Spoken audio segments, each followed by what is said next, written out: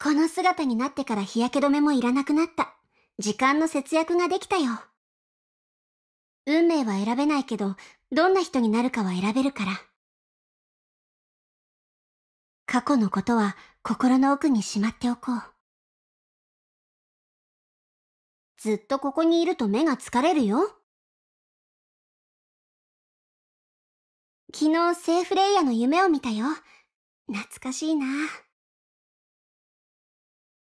メイ先輩を信じてる。私たちは最高のパートナーだから。こうして火を出すの。リスシャって不思議だよね。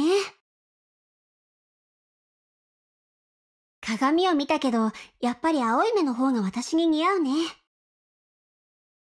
ずっと一緒にいてくれてありがとう、館長。戦うとき、服も燃えちゃうのは気になるな。